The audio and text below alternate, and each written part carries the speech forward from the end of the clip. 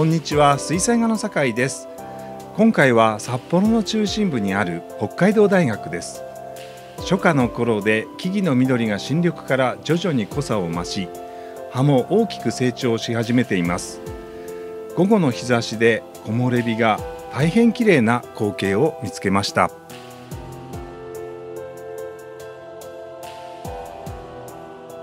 それでは描いていこうと思います。用紙はいつものアバロン F4 号サイズを使っています。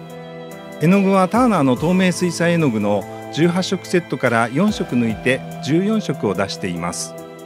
周りには 15mm 幅のマスキングテープを貼っています。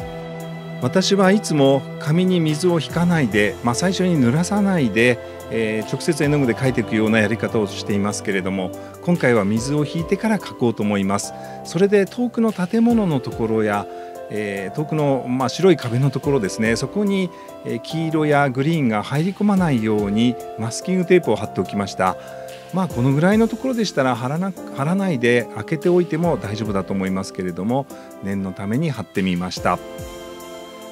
道具の手入れが悪くてこの3センチ幅のナイロン製のハケなんですけれどもちゃんと洗ってなかったので少し赤が入っていまして汚れた水になっていましたけれどもまあこのぐらいだったら影響がないでしょう。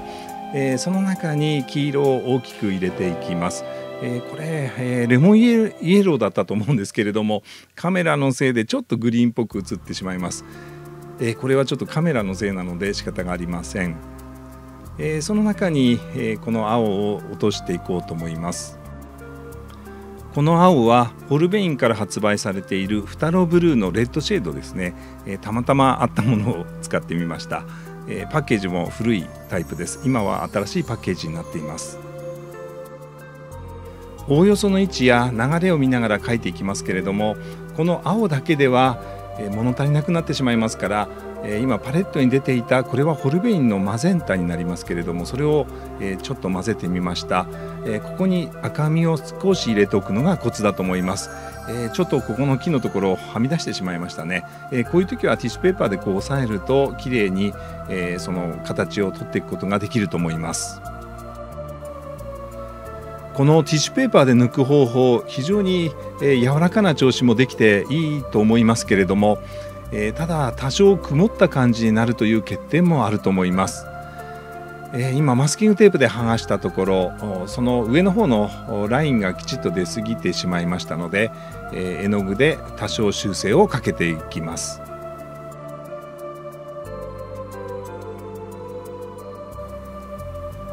約5分ぐらい時間を置いて乾かした状態です。部屋の湿度などにもよりますけれども、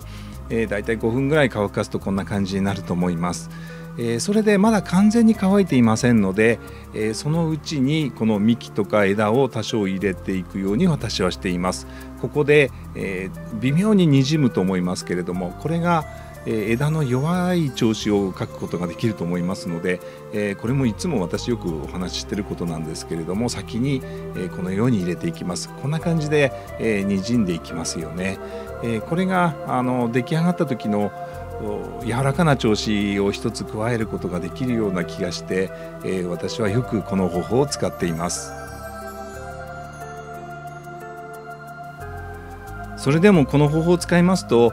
まあ、自分があ、まあ、狙った調子じゃない、えー、状態になることがありますね。この今根元の辺りなんかはここを暗くなっちゃいけなくて、えー、この後ろの光が通った感じを出さなきゃいけませんからそういう時には、えー、筆に水だけをつけて、え、軽くこすっていくとこのように抜くことができます、え、それで微妙なところをまたこれで調整していくようにしていますこの段階ではこんな感じにできていますね。えこれでまた5分ぐらい乾かしてそれからまた続きを書いていこうと思います。それではちょっと乾かそうと思います。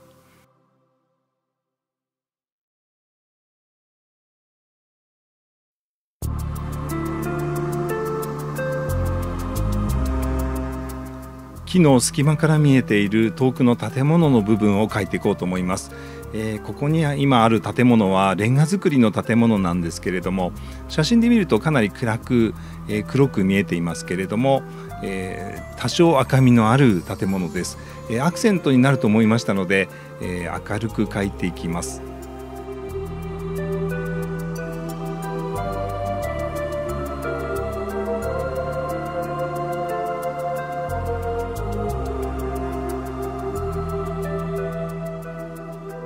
最初に広く大きく全体を塗った調子が大体乾きましたのでここからはその上にきちっとした調子を書いていこうと思います。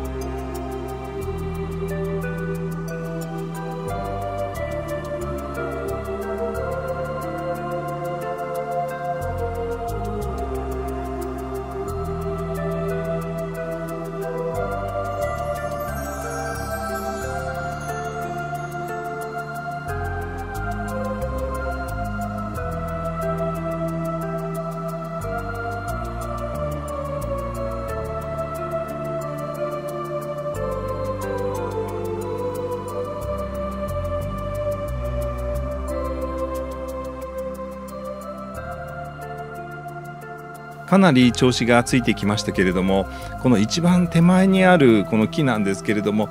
ちょっと真ん中になりすぎました、えー、まあ、今完成した状態も私見ていますけれどもあと5ミリ右の方が良かったかもしれませんね、えー、どうしても後ろの関係とのことがあってそこを真面目にこう写真の方から、えー、読み取ったらこの辺になるのかなと思って書いてしまいましたけれどもちょっと真ん中になりすぎたような気がします。これは今回の反省点です。あと5ミリ右。まあ1センチ右でも良かったかもしれません。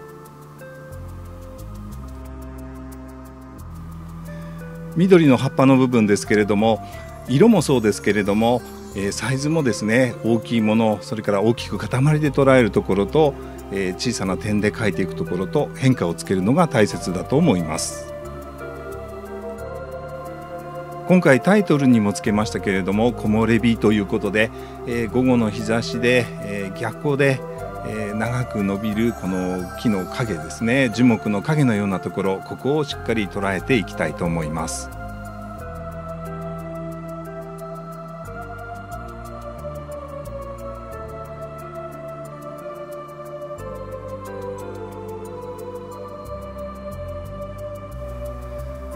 最初のうちにこの奥の方地面のところに流れるこう光の流れのようなところを書いておくといいんですけれどもどうしてもそうはいかなくてでこのように木の縦のラインがありますと後ろの流れがこうなくなっちゃってるところがあるんでそういうところは早めにこのように修正しておくといいと思います。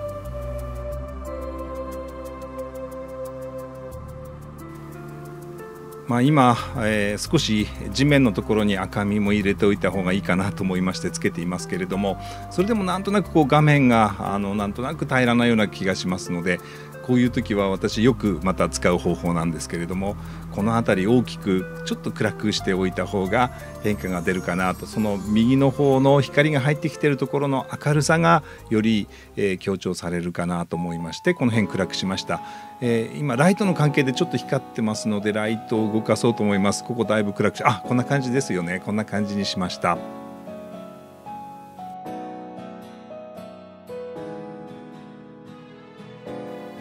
そろそろ完成に近づいてきました、えー、この時ですね非常に綺麗な緑の中に黄色の光が走っていましたので、えー、大きく黄色をつけていこうと思います。この黄色を大きくバサバサっと塗っていくことによって、えー、このグリーンにもツヤが出てくるような気がします。木の葉や幹などに光が当たって白く輝いているところはなるべく残そうと思って書いていますけれども完全に残すことはできませんので最後に不透明の白を使ってハイライトの部分を描いていこうと思います。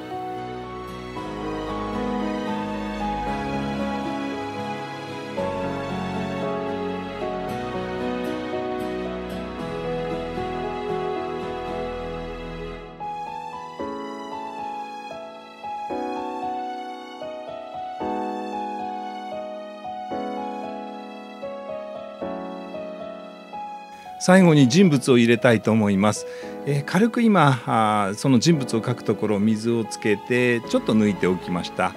で洋服青い洋服を着た方がいたんですけれどもアクセントになるように赤い洋服に変えました、えー、この2人を描いたら完成になります。